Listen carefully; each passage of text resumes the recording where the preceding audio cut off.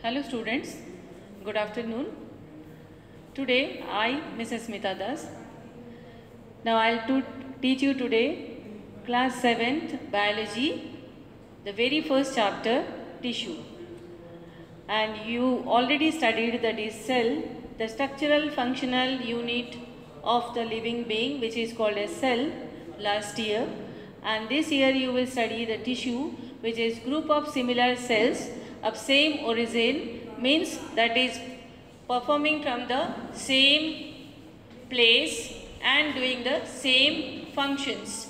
I can say that the origin is same and the function is same. So plant tissue and animal tissue both will study, will cover here in this uh, video classes.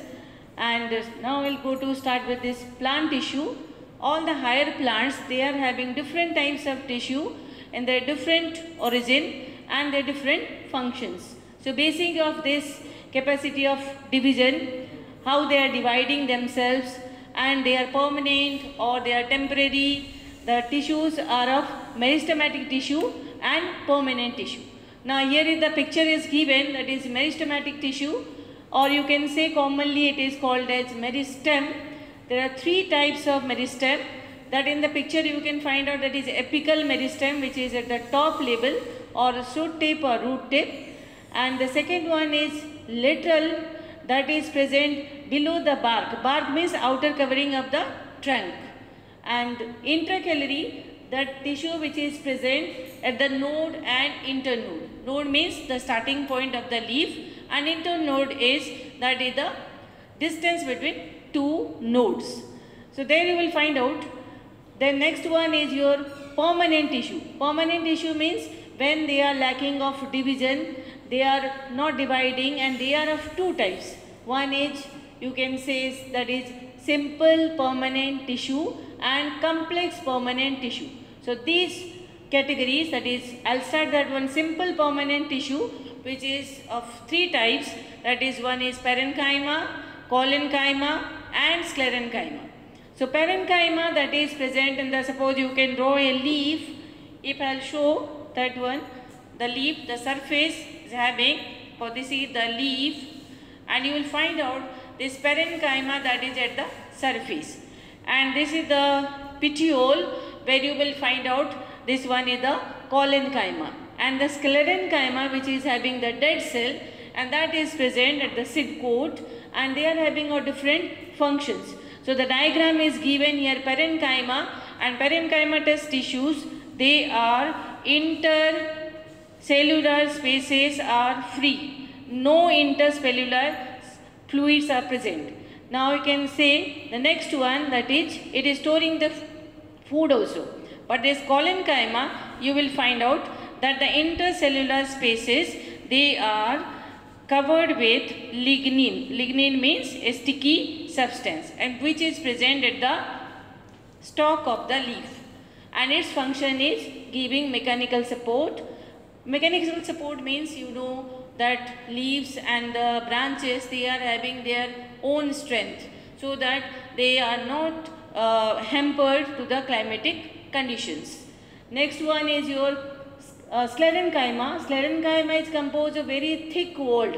You can say that is of hexagonal shape. Hexagonal shape. That means this one is having six sides and this hexagonal shape that is present at the intercellular spaces that is dead cell or you can say that is wall of this uh, you can say seed coat and it is find out in the veins and veinlets veins and veinlets that is present on the leaf and the function is they are giving the mechanical strength to the plant. Next you can say that is a complex permanent tissue that is of two categories. One is xylem and another is phloem. When you are getting of xylem and phloem then these are the complex types of tissues and they are permanent type. They are not able to divide themselves and these tissues they are present in the vascular bundle. Senior classes you will be studying about this vascular bundles and these vascular bundles that when you will cut a trunk, you will find out this type of vascular bundle. So inner one is xylem and outer one is phloem. So xylem and phloem combinedly known as vascular bundle and the differentiate between xylem and phloem that xylem helps in conducting of water and minerals from root to the leaf and phloem is conducting the food particles or what is prepared in the leaf to different parts or all the parts of the plant. Now this is more about the plant tissue. Now we will switch over to animal tissue and based upon the structure and function of this animal tissue, now it is divided into four groups. Whether it is very complex because higher animals they are having all types of tissues in their body parts and already you know that different types of tissues combine together to perform a specific structure which is called as organ.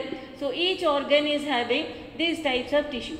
Suppose you can take uh, brain, you can take uh, the example of uh, heart, it is also made up of muscular tissue, I will tell you the later one. So all the types of tissue that is epithelial tissue, connective tissue, muscular tissue and nerve tissue.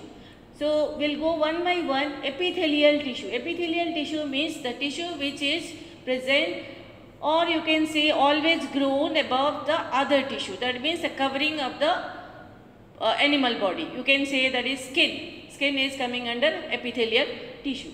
And epithelial tissue are of three types. Simple squamous epithelial tissue. Then you can say cuboidal. Then you can say columnar. Now you can see the diagram that is tile shape. When you are seeing your home that is giving a tile shape and it is very flat. This is the structure of squamous epithelial tissue.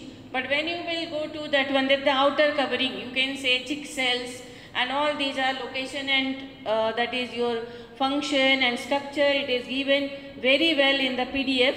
You can find out this one. But cuboidal, uh, cuboidal one you will find out that is a cube shape and this is also that is present you can say this cuboidal they are like a isodiametric. Isodiametric means length, breadth and height all three are same.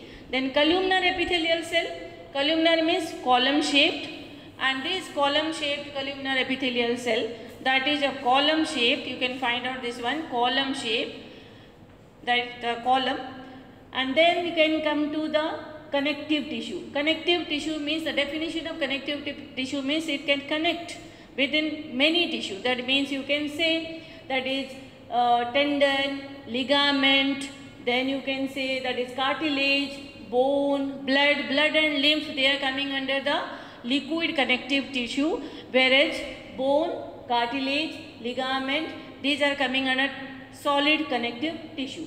You can see this here it is given adipose tissue.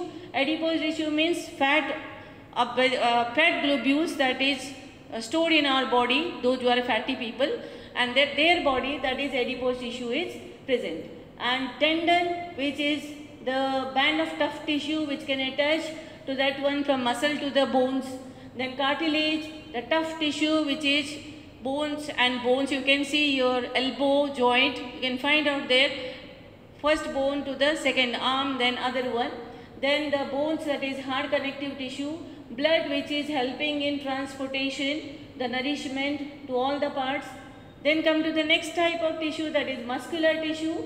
They are of three types. One is you can say striated or voluntary muscle. Then second one is called as unstriated or involuntary muscle. And third one is called as cardiac muscle. But the muscles they are found every part of our body according to the location. We can say the first one you can see the band that is striated means this type of striated muscles are there different types of bands you will find out. Uh, uh, then second one you can see that is a spindle uh, shape body. Spindle means you can see here that is a tapering type. You can find out here this is one nucleus and both the side it is tapering. That is spindle shape. And the third one is uh, that is a very important muscular tissue which is called as cardiac muscle. Cardiac means that is related to heart and heart muscle is made up of. So this muscle uh, muscular tissue is having both the types of uh, you can see here many branches. Why these branches are there? Because these branches are there so that the heart at a time can expand and at a time it can contract. According to their function, all the uh, cells and the tissue they are modified. Okay. Then come to the uh, nervous tissue. Nervous tissue means nerves. They are very much you know that uh, that is uh, you can get uh, from the outer world all these uh, impulse or you can say all the information whatever you are getting from outer world or inside the body that can be sent to the brain as well as spinal cord. So its uh, unit is known as neuron and single unit the diagram is given here neuron. Neuron is having three uh, parts. One is the first part is uh, that is you can see here the smaller branches that is dendrons and the body is known as cyton and the longer branch that is there is axon and the last one that is you can see that one neuron is connected to another neuron to transport these impulses and the location you can find out these are uh, present in the brain and spinal cord.